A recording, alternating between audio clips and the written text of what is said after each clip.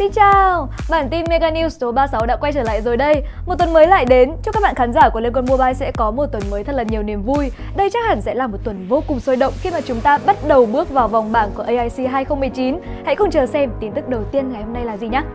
Đầu tiên sẽ là những hình ảnh mới nhất về quá trình chuẩn bị cho AIC 2019 của Team Flash và HTVC IGP Gaming. Với một vị thế đã được nâng tầm trên đấu trường quốc tế, nên cả hai đội tuyển đại diện Liên quân Mobile Việt Nam đều tỏ rõ được sự quyết tâm đạt thành tích cao nhất tại giải đấu lần này.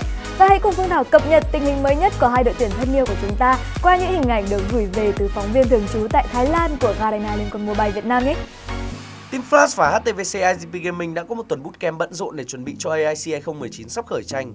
Mặc dù có lịch trình chụp hình quay phim cùng ban tổ chức giải đấu khá dày đặc, nhưng cả hai đội tuyển đều dành rất nhiều thời gian để luyện tập ở cường độ cực cao. Bên cạnh những buổi luyện tập thi đấu xếp hạng tại máy chủ Thái Lan, còn là những buổi trên team cùng các đội tuyển của các khu vực khác để tìm hiểu về lối chơi của họ, cũng như bắt kịp với meta đã thay đổi rất nhiều. Kết quả luyện tập của cả hai đội đều tương đối khả quan khi cầm hòa những đội tuyển mạnh như One Team hay Buriram United và giành chiến thắng trước hầu hết các đội tuyển còn lại. AICI 2019 chính thức khởi tranh vào 14 giờ ngày 5 tháng 11 với những trận đấu vô cùng đáng chờ đợi. Các bạn khán giả thân mến, hãy chuẩn bị sẵn nước và bỏng ngô và đừng bỏ lỡ giây phút nào của giải đấu lần này để cùng cổ vũ cho các đội tuyển của chúng ta nhé. Còn sau đây sẽ là lịch thi đấu chi tiết của vòng bảng AIC 2019 trong tuần này. Vòng bảng AIC 2019 sẽ diễn ra từ mùng 5 tháng 11 đến mùng 10 tháng 11. Cả Team Flash và HTVC IGP Gaming sẽ có những trận đấu mở màn được dự đoán là đầy khó khăn khi HTVC IGP Gaming sẽ chạm trán với đương kim vô địch GCS Hồng Kông Exil ở trận đấu cuối cùng trong ngày khai mạc. Trong khi đó Team Flash sẽ gặp lại người thầy cũ tinh trong trận đấu mở màn của ngày 2. Mỗi ngày thi đấu của vòng bảng, một đội tuyển sẽ thi đấu từ 1 đến 2 trận đấu Bên cạnh những trận thi đấu căng thẳng và nảy lửa trong khuôn khổ vòng bảng, thì lần đầu tiên trong lịch sử AIC, giải đấu solo 1-1 sẽ được diễn ra đan xen từ ngày 5 tháng 11 đến mùng 10 tháng 11 và 12 cái tên sẽ đại diện cho 12 đội tuyển tham dự giải đấu solo 1-1 lần này là những ai? Hãy cùng Phương Thảo điểm qua ngay sau đây. 12 cái tên đại diện cho 12 đội tuyển tham dự thể thức solo 1-1 là ADC của Team Flash, Toto của HTVC IGP Gaming, Tura của One Team, Renday đại diện Hồng Kông Attitude, NT trong màu áo AHQ Esports Club, Nunu của Buriram United, đại diện cho Olympus là Sun, Fake thi đấu cho Nova Europe, Weaver trong màu áo Evot Esports, AAA của Team AK, Sota của USC và cuối cùng là Mickey đến từ Liap Esports. 12 cái tên này sẽ được chia đều vào 4 bảng đấu. Toto sẽ ở cùng bảng với Renday và NT, trong khi đó ADC sẽ ở cùng bảng với Tura và AAA. 12 cái tên với 12 phong cách thi đấu khác biệt hứa hẹn sẽ đem lại những màn so tài kỹ năng mãn nhãn và đặc biệt là thể thức thi đấu của giải đấu solo lần này cũng cực kỳ thú vị.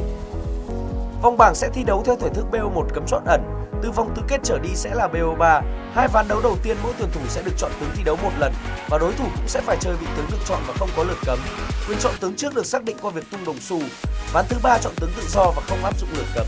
Sau thành công ở AWC 2019, chế độ xem trận đấu qua màn hình của tuyển thủ sẽ tiếp tục được áp dụng tại AIC 2019 lần này để đem đến cho khán giả những góc nhìn đa chiều và tối đa hóa trải nghiệm cùng giải đấu.